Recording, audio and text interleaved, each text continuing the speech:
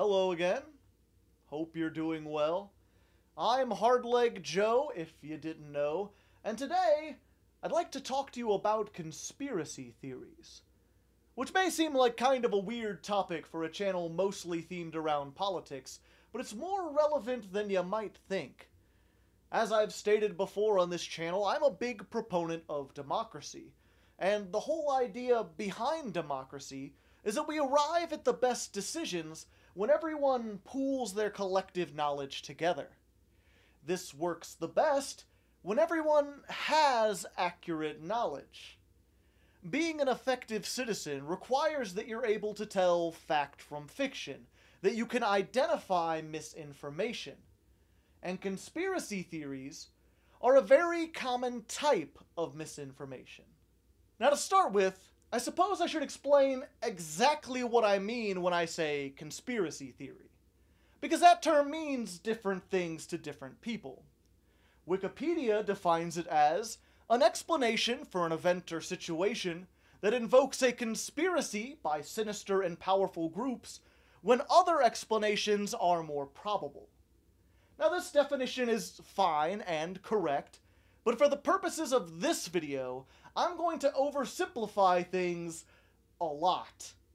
In this video, when I say something is a conspiracy theory, what I mean is that it's a bad theory. That's a much simpler explanation, just two words. But to be absolutely clear, let's just break down each word real quick. So, when I say a theory is bad, I don't mean it's morally bad. It's not an evil theory. It's bad in that it's badly constructed, like a table cobbled together from scrap metal. It's flimsy, it can't hold much weight, and it's probably a danger to the person using it. As for the word theory, I want to clarify that I'm not talking about a scientific theory, like the theory of gravity or the theory of evolution. Those are their own separate things with their own specific rules. What I'm talking about are practical theories. For example, I have a theory that a postal worker delivers mail to my house. I'm not certain of that. I've never actually seen them delivering it. It's possible my mail is delivered by drone or that it somehow teleports into my mailbox. But I assume it's done by a postal worker because there's a lot of evidence that points towards that being true. For instance, my mail has stamps and writing on it that indicates it was handled by the post office. People I know have seen their own mail delivered by postal workers. I've seen similar workers in trucks driving around my neighborhood. And there's nothing special about my house that would exclude it from regular mail delivery. Together, all these facts point towards one conclusion that my mail is being delivered via a postal worker just like everyone else. To assume anything more complicated would be invoking a conspiracy when other explanations are more probable. Now, that's a silly example, of course, but it shows exactly what a practical theory is. It's a logical assumption about the world that is based on facts that you have. It is also falsifiable, which means it's something that you could prove to be true or false if you had access to all the relevant information. In the case of my mail, getting all the information to prove my theory would not be that hard. I could just wait outside my house until the mail shows up and see for myself how it's done. Case closed. When it comes to more complex events, though, getting all the necessary facts can be significantly more difficult, if not downright impossible.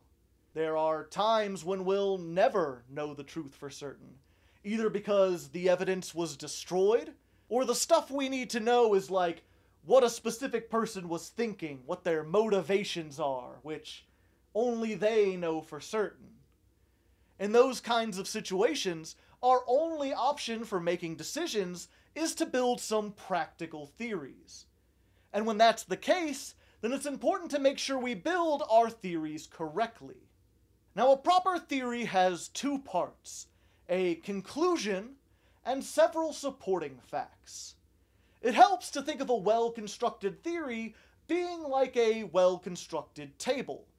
The conclusion, the assumption you want to make, is like the table's top, which is being held up by several sturdy legs. Those legs are the supporting facts, the things we know for certain that can't really be disputed. If you have strong enough facts and you keep your facts straight, then not only will they support the weight of your conclusion, but also any other ideas you want to stack on top of it. A well built theory can serve as a solid foundation, a base upon which you can build your opinions. Now, the best way to show you good theory construction is actually to show you a whole bunch of bad theories. Because good theories are often kind of complicated. Even my goofy example with the mail took way too long to describe.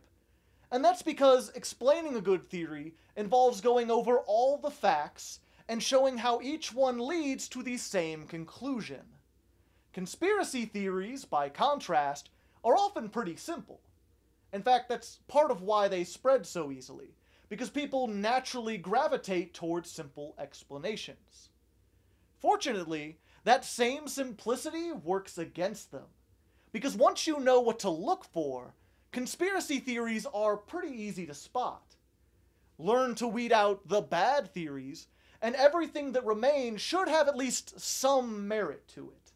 Alright, so in my experience, there are four distinct kinds of conspiracy theories, each of which fail in different ways. The first is something I call the one legged table. You might also think of this as jumping to conclusions. This is where you take one fact and try to balance the whole conclusion on top of it, without taking any other facts into consideration. For example, it is a fact that, in America, black people are far more likely to be arrested than white people. Looking at this fact alone has led some people to theorize that genetics play a big role in criminal behavior. That the same DNA that determines your skin color also determines how likely you are to violate the American legal code. However, if you look at the crime rates for dark skinned people across the globe, you'll find that the American statistics aren't universal. That the crime rate is only high in America and South Africa, places where dark skinned people were racially segregated and discriminated against for many generations. This second fact points to there being an environmental cause for the high crime rate, rather than something genetic. And if you gather more facts on the subject, you'll find that that's a continuing trend. That most of the time, where a person grows up is a much better predictor of their future actions than anything biological. That's why a good theory needs to have several different supporting facts. A one legged table can stand up on its own, it can even support a, a, little weight, but it's weak and unstable. It's not sturdy enough to hold more than a couple opinions, and it's very easy to knock over when you start bringing additional facts into the picture. Alright, so the second type of conspiracy theory is something I like to call the wonky table. You could also think of this as reaching. This is where you stretch unrelated or oddly specific facts to try to make them fit an otherwise unstable theory. These are often, but not always, constructed by people who are trying to put more stability onto a one legged table. Sticking with the example I used before, if someone wanted to try and salvage their genetic criminal theory, they might point out that black people have lower than average SAT scores. Or they might bring up some violent event like a riot and point out that a large number of black people were involved. Now, these are facts, but they don't actually support the theory in question. Like, educational tests are irrelevant. The SATs don't measure how likely you are to commit a crime. And you really have to twist the facts if you want to equate bad test taking skills with criminal behavior. And the riot example is pretty flimsy. People of all skin color riot from time to time, and when they do, it's almost always motivated by some event in the world, not a genetic desire to riot. Metaphorically, these facts are either toothpick thin or bent all over the place. they are barely able to support the conclusion that's been stacked on top of them. And as a result, you have a pretty wonky table that can't hold much weight. It might appear stable if you don't look too closely because there are a lot of facts there, but because the facts aren't straight, and because the few that are straight aren't very strong, the theory collapses when you try to build anything substantial on top of it. This shows that a good theory not only has multiple supporting facts, but that those facts are directly related to the conclusion. You shouldn't have to twist or bend them to fit the conclusion, that should come as a natural result of the facts. This brings us to the third type of conspiracy theory, and the most deceptive. I refer to them as reverse tables, but it might be more accurate to simply call them propaganda, because these are fabricated theories, purposely created by powerful people to mislead the public. These can be some of the most difficult to identify because they are designed to have the appearance and stability of a good theory. Unlike the previous two examples, which are usually born from laziness or a lack of education, people put a lot of time and effort into making these theories look legitimate. Now, occasionally, these will be made by carefully bending unrelated facts to suit their conclusion, kind of like a higher quality version of the wonky table. Usually, though, the creators of propaganda will just lie because they are powerful enough or influential enough to spread fake facts, manufactured evidence that fits their theories perfectly. Because of this, you can't easily identify a reverse table just by looking at the facts. The key word there being easily. You still can disprove them that way, it just takes a lot more time and effort than the other kinds of theories. Because instead of simply finding more facts or showing how the evidence isn't relevant, you have to debunk the facts themselves. You have to prove that they are lies.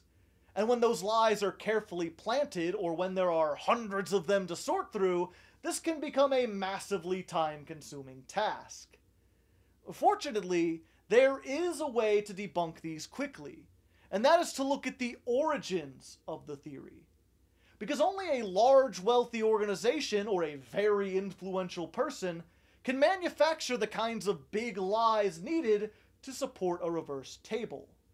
Which means you can usually pinpoint when exactly the theory started and who started it. You can then look into how they got their supposed facts and see if perhaps they have some ulterior motive for pushing this theory. This is why I call them reverse tables, because their flaw is tied into how they are constructed. A good theory is built from the bottom up. It starts by finding a bunch of facts and then placing a conclusion on top that fits those facts. A bad theory, a conspiracy theory, does the reverse. It starts with the conclusion and then builds legs on top of it, crafting the perfect facts to prove what the creator has already decided will be true. Now, the best and most recent example of this is what happened with the 2020 presidential election. There's a conspiracy theory that the Democrats used voter fraud to steal the election for Joe Biden, with proponents claiming that there is a mountain of evidence which supports this theory. Now, it is possible to go through all that evidence and debunk it individually, but as I said earlier, doing that would take a massive amount of time. It's far faster to simply look at the origins of that theory because it was created by the man who lost the election, former President Trump, who not only has a pretty big motivation to lie, but also the power and influence to push that lie to the public. More important than who spread this theory, though, is when he started spreading it. Because he first began saying that the election was stolen several months before the election happened long before any evidence of voter fraud could have possibly existed. It is a textbook example of a reverse table. Mr. Trump clearly started with the conclusion that his loss must be the result of voter fraud, and then began looking for evidence that might prove his theory later, after he had already lost. And how he got this evidence kind of reflects that. He essentially told the world that fraud definitely happened, and then asked his followers to call in and report anything suspicious. He then treated each report of suspicious activity as factual evidence which proved his theory. Needless to say, while this created a mountain of reports to go through, none of them have held up to scrutiny. Every report is either wild speculation or just outright lies, because it was made by people who were specifically asked to look for evidence where there was none. But I digress. Moving away from somewhat current events, we have the fourth and last kind of conspiracy theory, which is something I call the pile of boards. This is a theory without facts, a conclusion that is supported by other conclusions, just a big old stack of tabletops with not a single leg to stand on. When most people think of the really out there conspiracy theories, this is what they're usually thinking of. For example, believing that the Earth is flat. There's zero evidence that supports that idea. In fact, the mere existence of space travel quite literally flies in the face of that theory.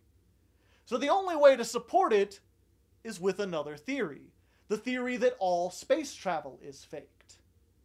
Of course, if that were true, then the hundreds of companies that claim to have satellites in orbit are all lying as is every government in the world.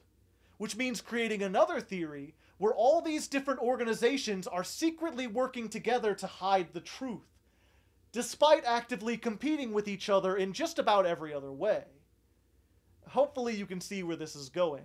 Eventually, you end up with a stack of theories that encompasses most of reality, just a solid block of conclusions that explains how the world works without needing any facts at all. Now, the good thing about these theory piles is that they're really easy for most people to identify. Like, a majority of the population can just inherently tell that these aren't valid theories, in the same way that they can tell the difference between an actual table and a stack of boards. The problem is, more than any other kind of misinformation, the pile of boards can actually be pretty stable.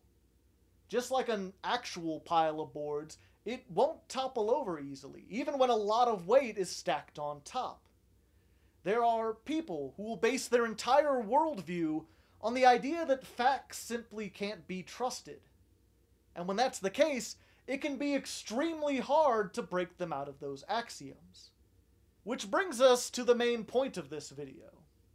Like, it's all well and good to educate yourself about misinformation. I hope you learned something here.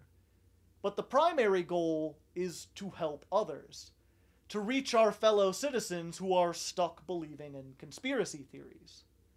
Obviously, I'm hoping this video will help at least a few people out there, but I have a feeling that the ones who really need to hear this information either won't watch the video or won't accept it if they do. In the end, I think that individual people require individualized solutions. The only way we can hope to change people is by talking to them one on one, by having conversations. And while I wish I had some really simple advice for reaching someone who's been misled by conspiracy theories, there's not really a simple way to do this. My best advice is the same advice I have for life in general be patient and be kind. At least try to be. You won't convince anyone of anything by insulting them or dismissing their views as stupid. And this is especially true of those who believe in conspiracy theories. A lot of them are under the impression that most people are just ignorant sheep who don't listen. And if you simply mock them without acknowledging that you've at least heard what they had to say, you feed into that narrative. So if you know someone who believes in a bunch of conspiracy theories, hear them out. Let them know that you're listening to what they have to say and that you understand their perspective. Just also make it clear that you think they're wrong. And more importantly, make it clear why you think they are wrong. And if you don't have the answers, if you don't know why they're wrong, look it up. Do some research. The information is out there. Or talk to someone else you know. Bring a third voice into this conversation. Any kind of dialogue, any kind of conversation will always be better than two people just ranting at each other. Now keep in mind, you still won't get through to them like 99% of the time. People rarely change their minds over the course of a single conversation. But every time, there's a 1% chance. Every time there's a conversation, it's another opportunity to try to break someone out of that. And so, if we can get enough people talking and get them talking enough, then those tiny percentages will begin to add up. And of course, if we can get the media to stop feeding into conspiracy theories too, that would help a lot. But that's a topic for another video. For now, I think I'm going to leave it here.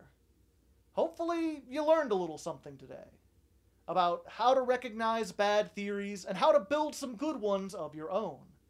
You start with the facts, find multiple facts, keep your facts straight, and then form a conclusion based on those facts, not on other theories. Keep in mind that these rules won't make you immune to misinformation. No one is immune to misinformation, but it will certainly help. Hopefully, by breaking down exactly what makes a theory work, by giving you these categories and rules for analyzing theories, I've given you the mental tools you need to make better decisions and handle conversations about conspiracy theories when they come up. If I've succeeded, then you will have left this video mentally stronger than you were before. And in a democracy, the stronger each individual is, the stronger we all are. But yeah, thanks for watching. I hope to see you again soon, and stay safe out there.